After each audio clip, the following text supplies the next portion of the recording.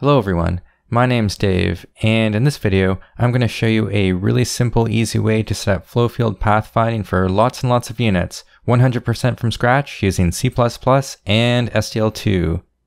As you can see, when I move the mouse around, the large group of units follows it around the level. Not only do they flow quite nicely around walls and use all the available space, but each unit virtually never overlaps any other unit. When they do, it's minimal and gets corrected quickly. In a previous video, I created red units that follow the arrows to move towards the mouse and around the blue walls.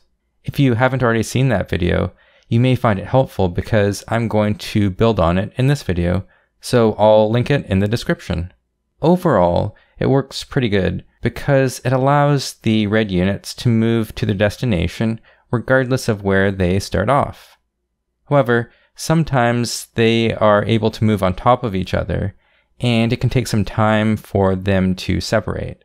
In addition, it doesn't work very well for large amounts of units to reach their destination as a large group. So in this video, I'm going to show you how to improve it. The first thing I worked on was improving unit separation. Previously, every time a unit was updated, the code looped through all the other units in the game to check the angle between the unit's positions and the direction that the selected unit is traveling. If it was too small, meaning that the selected unit would move in a direction where it would overlap the other unit too much, then the move wasn't allowed. However, some overlap is still allowed to ensure that they won't block each other. Otherwise, if the code is changed so that they can't overlap at all, you can see how they block each other and get stuck. to improve the separation, I'm going to add an additional force to push them apart. We'll need a way to detect nearby units and determine what direction the selected unit needs to move to avoid them. Imagine that the unit in the center of your screen is the selected unit, and there are a bunch of units around it. A circle can be drawn that represents the selected unit's visibility radius, which in this example includes two other units.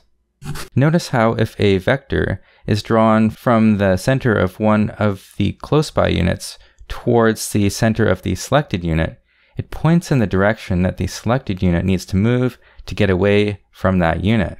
The same thing can be done for any other units that are within the unit's visibility radius, which of course in this example is just the one other unit. Then all the vectors can be added together and normalized to determine what direction the selected unit needs to move to get away from the group. I then wrote some code to implement this, which you can see in front of you. I also wrote some code that combines the normal from the flow field with the normal for separation. Let's try it out. So you can see that the units now usually have a space between them. However, when they get to the destination, they get a lot closer and many of them are vibrating so fast that they look like they're having a seizure. So that's not really what we want. To improve the separation, I'm going to multiply the normal separation by an arbitrary value so that it's weighted much more heavily than the normal from the flow field. This means that anytime the units get close together, separation becomes a much greater priority than moving along the flow field. Now you can see that they're staying apart far more than before. However, they're still vibrating like crazy, I'm sure that there's many ways to deal with this. However, I want to keep it simple. I noticed that they're often vibrating around what is essentially a fixed point in space. Therefore, I'm going to be clever and create another vector called pose draw that will essentially be a moving average of the position vectors to try and smooth things out. There are many ways that I could implement this. For example, one way would be to create a list and add the current position to it. Remove the oldest position when the list gets too big. So for example, maybe it will only store 20 position values. And after that, calculate the average. However, obviously that would be a bit resource intensive because each unit would have to store lots of old positions and would have to calculate the average lots of times. So to keep it simple, I decided to set the draw position, pose draw, to be a combination of the previous pose draw value based on percentage, and the remaining percentage is made up of the new position.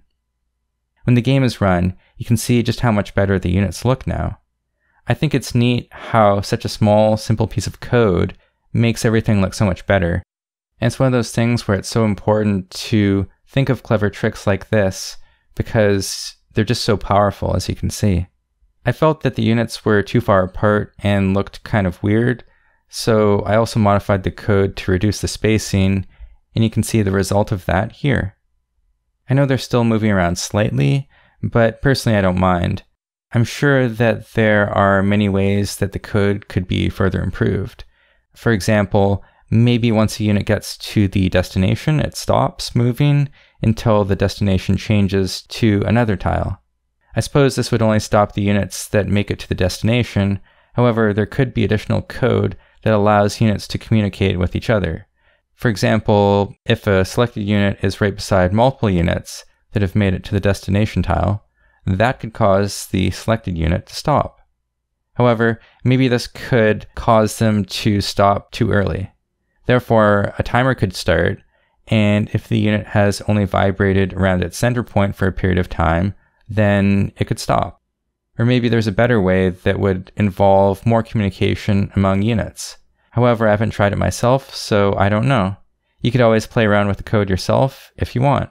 All the source code is available on my website. Link is in the description. I've also got a bunch of other games, code, and tutorials on my channel and website, as well as a course where I create a Falling Sand platformer game 100% from scratch. Feel free to check those out if you're interested. Don't forget to subscribe for more videos, and I'll see you in the next one.